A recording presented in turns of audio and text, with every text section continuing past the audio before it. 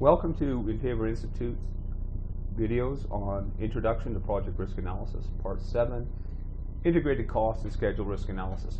Uh, in this video, what we're going to do is look at one of the uh, more common issues that we see uh, in the project risk analysis, and that is that the cost and schedule estimates, the assumptions behind them, are not aligned.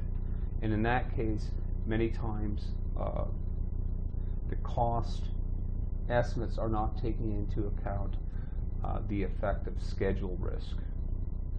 Uh, what we've seen in uh, the research that's coming out, uh, particularly from David Hulett uh, from projectrisk.com, if you look at his, at his site, what he shows is that between 40 to 70 percent of project risk is is time dependent. It's being based on schedule driven. So what we'll do is we'll take a look at uh, how we model that in Risky Project. So what we're looking at here is a very simple oil and gas example. We have a schedule and you can see that we do have some uncertainty associated with that. Well, that's the uncertainty about just being able to execute the schedule.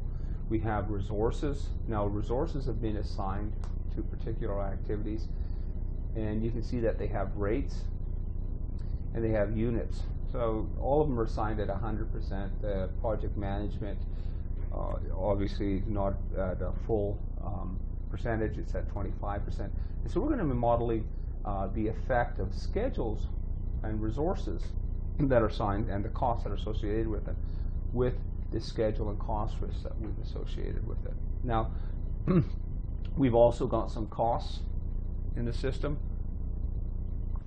Uh, they have, uh, some of them have some uncertainty associated with them, some of them don't, as you can see.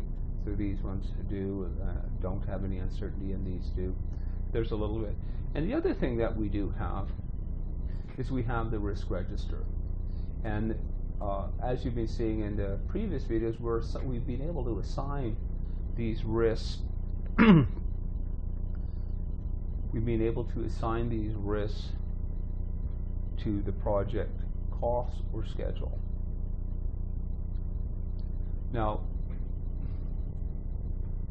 we can run, we're going to run a, a simulation. Obviously, we, uh, we can see which are our most critical risks. But what we really want to take a look at is in the analysis. And when we go to the resultant,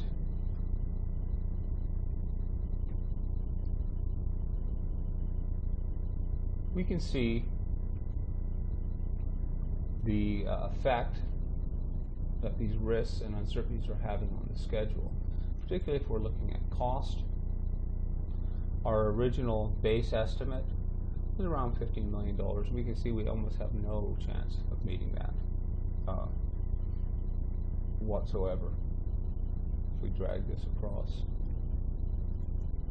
And what we've done by uh, what I wanted to show briefly on this is by being able to put in costs and uh, uh, schedule loaded with resources, with rates, and uh, activities with some cost. We're able to get actually a fuller picture. Now, one of the things that we'll lo be looking at in uh, some future videos about how we could separate the impacts out of those costs and schedule risk um, for further analysis. But what are the what we can do and what the what with the newer software out and with the hardware, uh, the performance is uh, strong enough that we can bring in uh, a fairly large schedules with, that are resource loaded and cost loaded and run a full schedule risk analysis on it in which both the schedule and cost estimates, the assumptions behind them, are fully aligned. So we're going to get a much more accurate estimate. Thanks.